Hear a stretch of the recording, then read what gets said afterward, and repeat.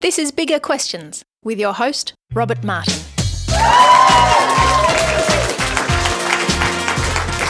Welcome to Bigger Questions, recorded live in Melbourne.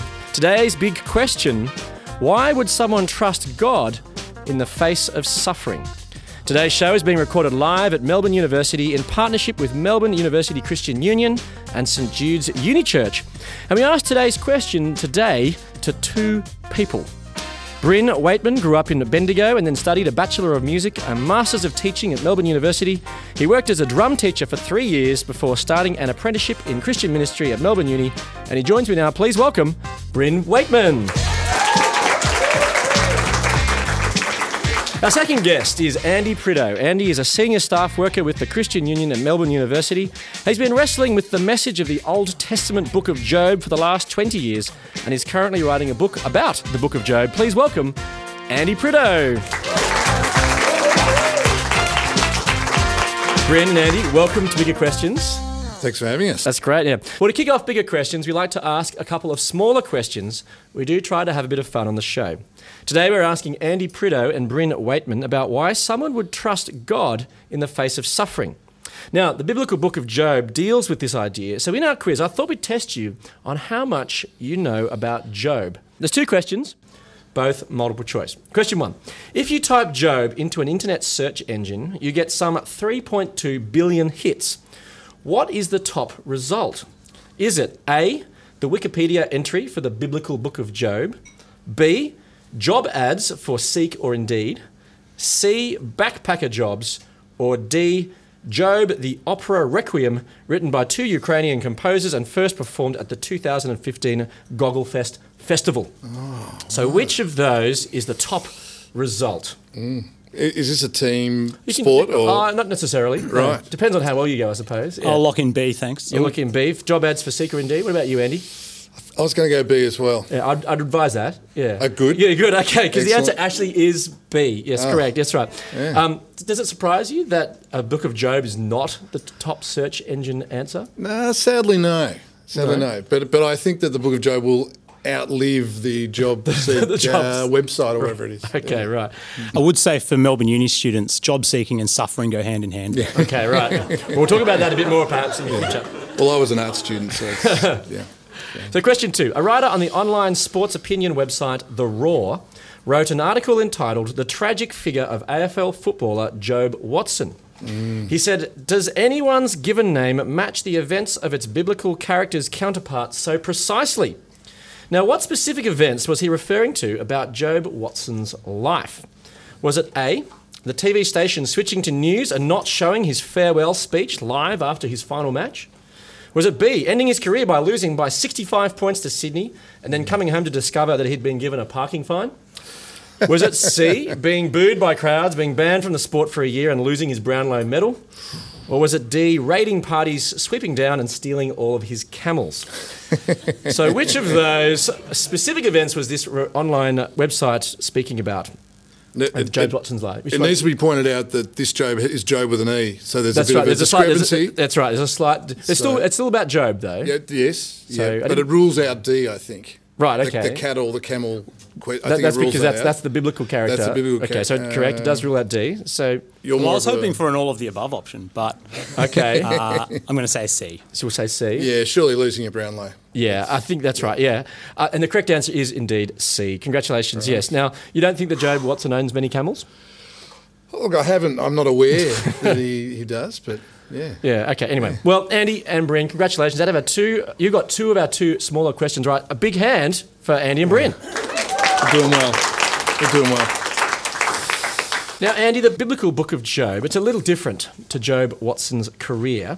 Can you tell us a little bit about the book? It's pretty big. It's 42 chapters long. You spent 20 plus years wrestling with it. Mm. What happens?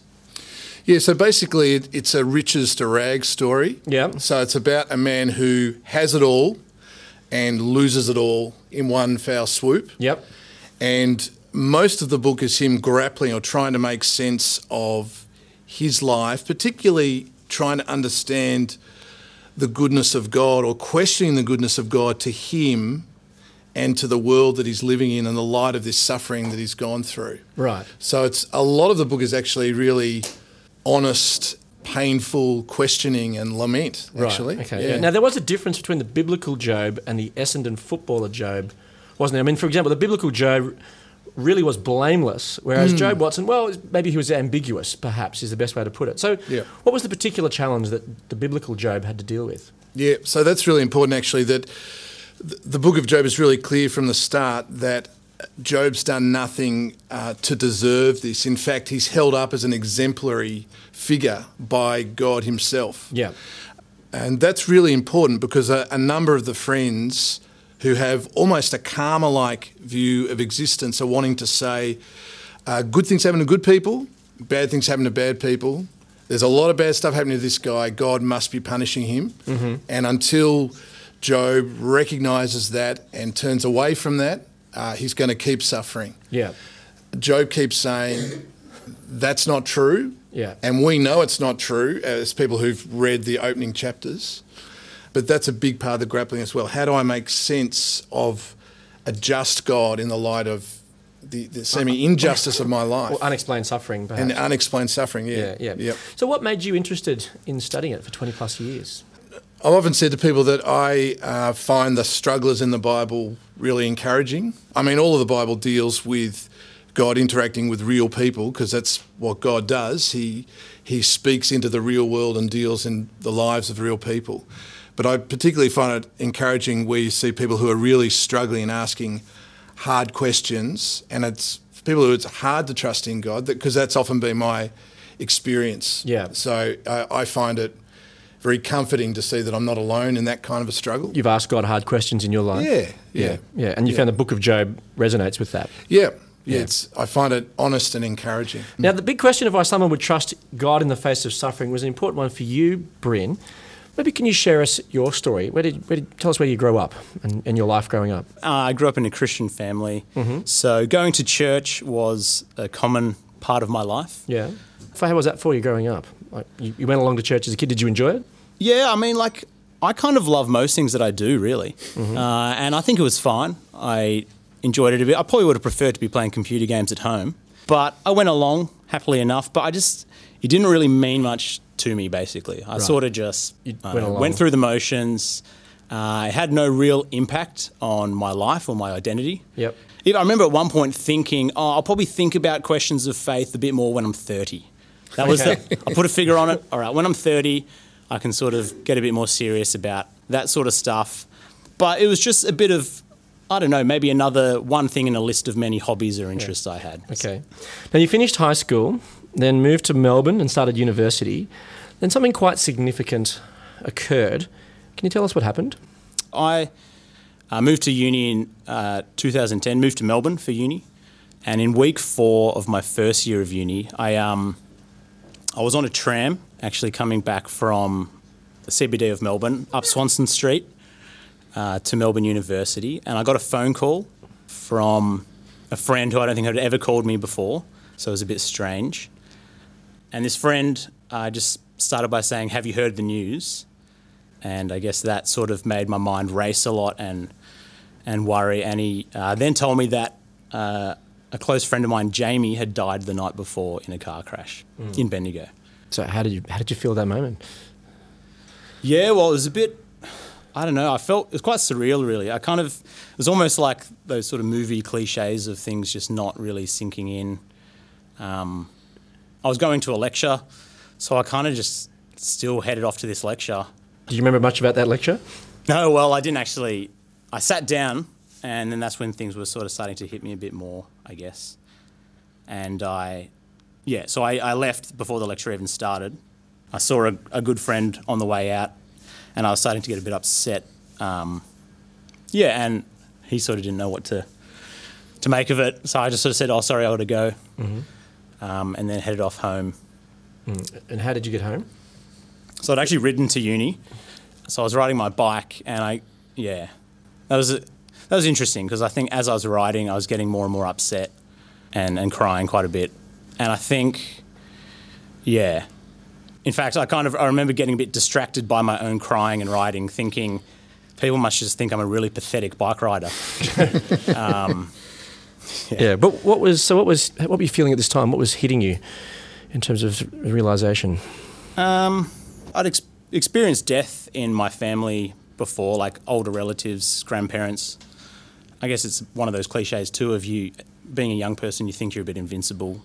You think those sort of things are in the distant future for you or for the people, for your friends.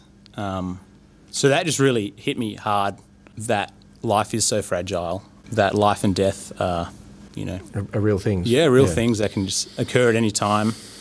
Um, and obviously, just the enormity of this is a great friend that, uh, yeah, I won't get to see again. Um, yeah, that was, uh, they died so young. Um, Yeah. So you rode home sort of wobbling. Yeah. Uh, you got home. How did it affect you? What, what, what were you thinking about and processing at that time? One thing that comes to mind, I remember at the time thinking, this must be what weeping is. I don't know. I remember because I feel like in my life I'd cried before uh, or, be, or been sad about things, but I remember really thinking, like, yeah, this must be weeping. This must be crying until I was kind of physically, I guess, sore Yeah. uh, from it. Um, and just, I guess for me, I found I just had this really weird mix of sort of confusion, um, but kind of also clarity too in some ways. Clarity about. for me, I kind of thought, well, how do I, I don't know, how do I respond to this, or what does this this mean for me? Yeah. And I guess I'd experienced most people in response to something like this saying, I guess, to God, how could you do this? But not really in an actual question way, wanting to find an answer, more in a accusation. How could you let this happen? So did you ask God that question? Yeah, well, I think I did in some senses, but I don't think I was really, I don't know, needing or looking instantly for some logical, rational explanation for it all. Mm. Which, looking back, I'm not sure why I didn't Yeah. You were just hurting. really look for that. I just, yeah, I think, I mean, I, I just think for myself, a really big question was can I trust God hmm. in this? Hmm. I don't really know exactly what is going on or really in some logical way why this is happening, but in a clarity sense, I just thought, for whatever reason, I felt like I didn't really have any other option than to trust God. But surely, well, I'm I'm very sorry for your loss of your friend. Um, but surely a tragedy like this would push you away from belief in God. I mean, many people believe, reject God for because of the, the suffering in the world. Why wasn't this you? Yeah, I guess in some ways I'm a little unsure, and unsure why I necessarily responded in trust, not accusation or, or, or pushing away or something. It was also a time in which I was actually really learning what Christianity was. So I think I didn't really know that from growing up that clearly. I didn't really know what the gospel was. And I think for me, especially early on in uni, every single week, seeing more and more clearly who God is, uh, what He has done for us, namely in sending Jesus uh, to die for us, I just had in my mind, in this situation, who am I going to choose to trust? Am I just going to trust in myself and and uh, push God away and go rogue and do things on my own? And I guess I just felt, well, this is a God that knows me and that loves me enough that, and I can see that clearly uh, through the Bible. I just felt I could I could do nothing but trust uh, Him. Yeah. So in many ways, this incident with your friend was almost a catalyst for you to take the Christian faith or take God more seriously, perhaps. Oh yeah, it was definitely that. Yeah. It really put questions of faith much more on the agenda too, saying if I call myself a Christian or you know, which I would have done my whole life growing up, as I said, going to church. But yeah, this really pushed me back and went, well, what does it mean? Does it have any impact on, on your life? And so, how is your life different now? Uh, I mean, from this experience, it gave me a real thirst to know and uh, I guess understand my own faith and, and know God. And through that, that has sort of changed everything. Really, it's changed what I value in life. It's changed my career pathway of wanting to work in Christian ministry. Yeah, I know. Hmm. No, thank you. All yeah. things. So, Andy, how does the book of Job speak to Bryn's experience here? Hmm. Yeah, it's interesting to hear Bryn share a bit of his story in terms of the the main question that was raised for him was is God trustworthy and can he trust God with his life? Hmm. Uh, because I think I think in the end that's probably the biggest question for Job. So he asks lots of why questions, but it, it seems that the question behind the question for Job, the thing that he keeps coming back to, is not necessarily tell me exactly how the world works and what you're doing in it, but can I really believe and trust in the light of my experience and the experience of others I see ar- around me? Because his suffering makes him aware of the wider created order, if you like, or the mm. world he lives in. can the Creator really be trusted with His world, and can I trust Him with my life? Is He for me?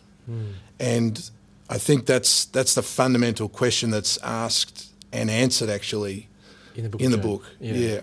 So, Bryn, do you resonate with the character of Job or the story of Job at different points? Oh yeah, I think definitely like some of the conclusions Andy was saying there of even though you, you inevitably do have questions, and I did have questions of of why in certain degrees, I think the big answers were for more found in who is God and can I trust Him. Mm, mm. Well, why don't we have a bit of a think about some of the book of Job now? So, in chapter 10 of the Old Testament book of Job, the character Job reflects on his experience of suffering and says in verses 1 and 2 I loathe my very life.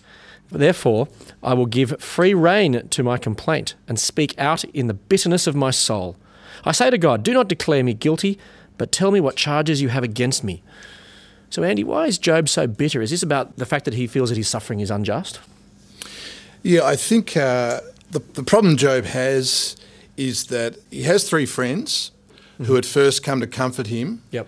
And uh, the first thing they do is actually sit in silence with him uh, for seven days and seven nights, which is their greatest contribution to Job when they keep their mouth shut. Okay. As soon as they open their mouths, it's when they say it best when they say nothing at all, to quote that Yeah. great song. Um, as soon as they start to open their mouths, they're trying to make sense of Job's suffering. It's, it's shaken them up too, because it doesn't seem to fit with their worldview that it goes well for the righteous, it goes bad for the wicked.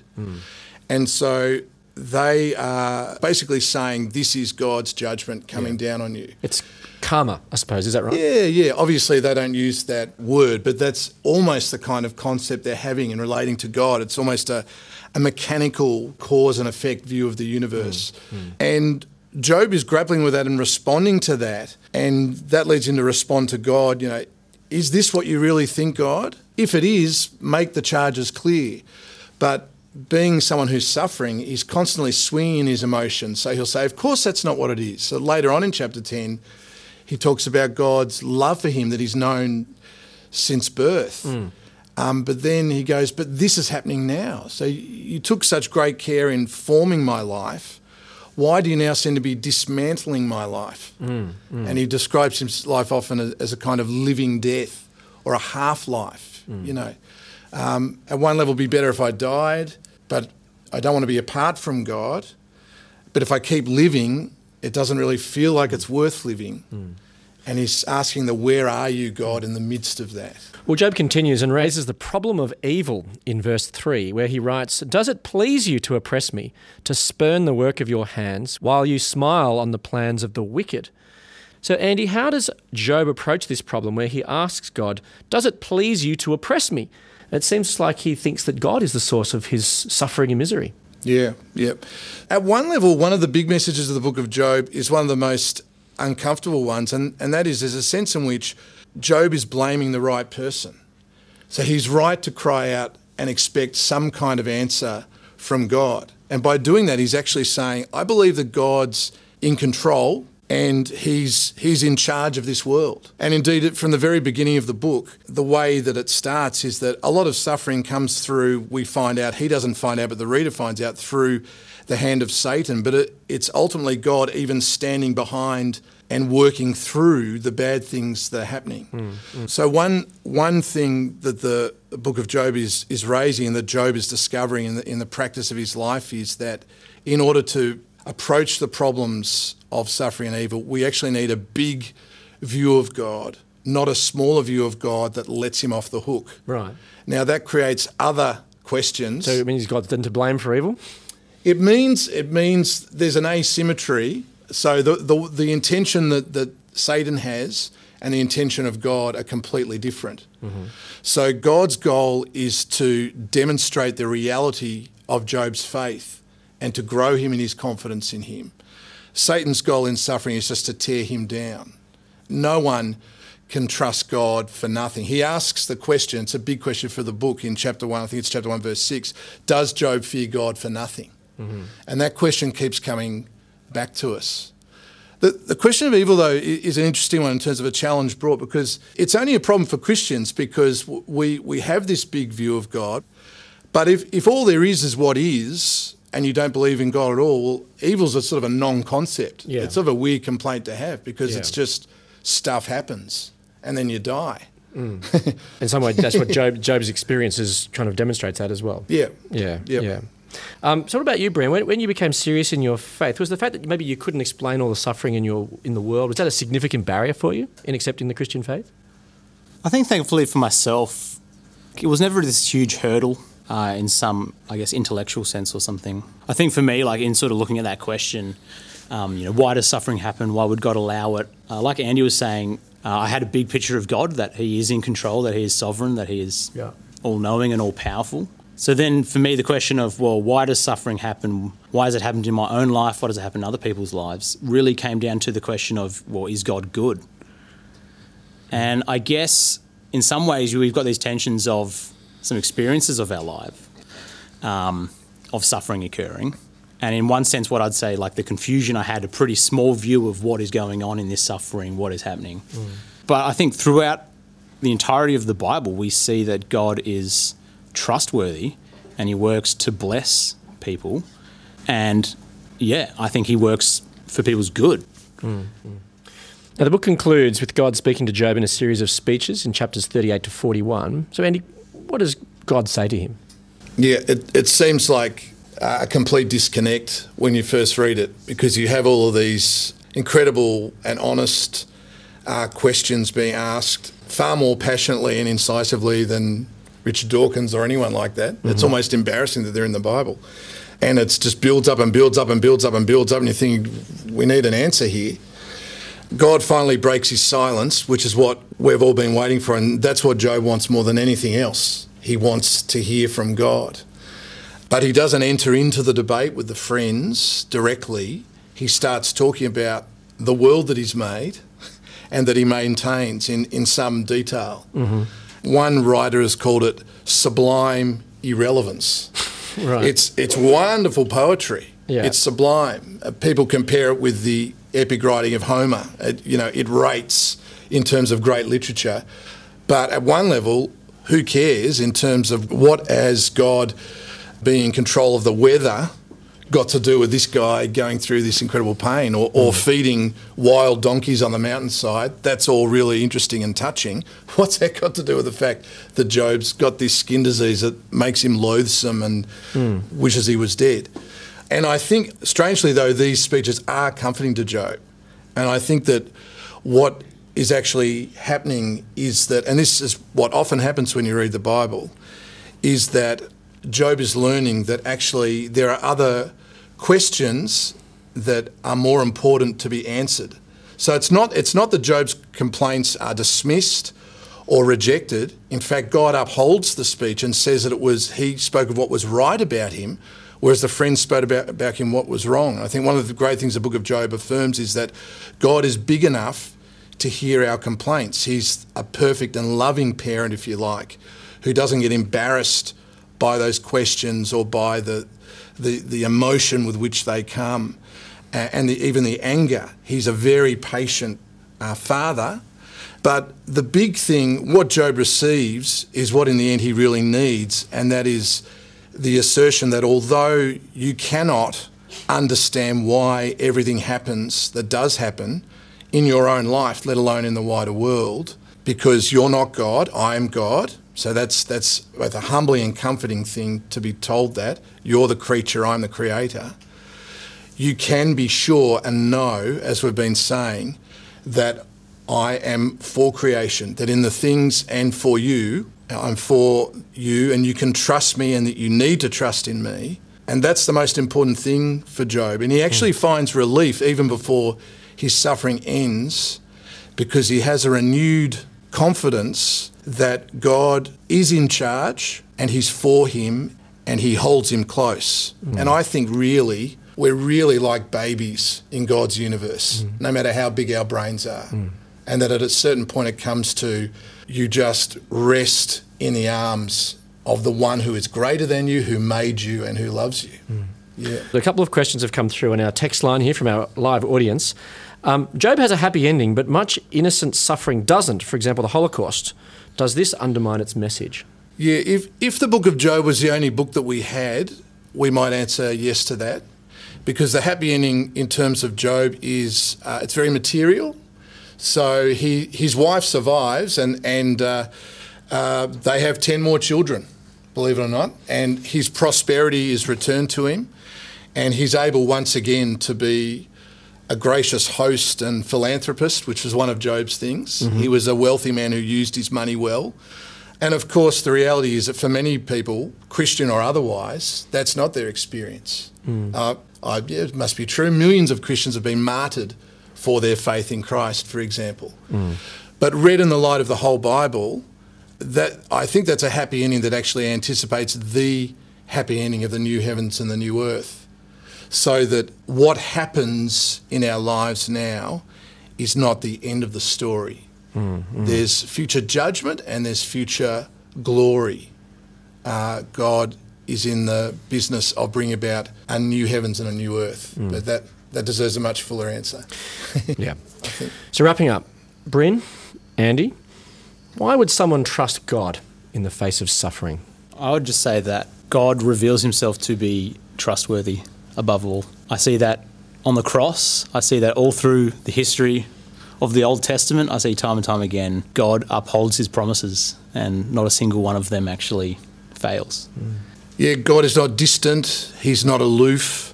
He's not just a concept to be debated over. He's a person who's entered into creation and shared our suffering and pain in Jesus, as and as Prince's death on the cross, and he's done something about it. And the resurrection, which I believe is an historical event, underlines the reality of Jesus' claims and the hope that we can have of real and eternal life. Hmm. Let me leave you with the Bible's answer to the big question Why would someone trust God in the face of suffering? From Job 42 1 to 3. Then Job replied to the Lord, I know that you can do all things. No purpose of yours can be thwarted. You asked, Who is this that obscures my plans without knowledge? Surely I spoke of things I did not understand, things too wonderful for me to know. I look forward to you joining us next time for bigger questions. Please thank our guests today, Bryn Waitman and Andy Prideaux.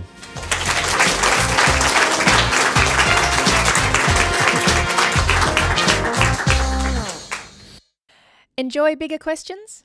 You can help us keep asking them for as little as $1 a podcast. Support the show. Go to patreon.com slash bigger questions.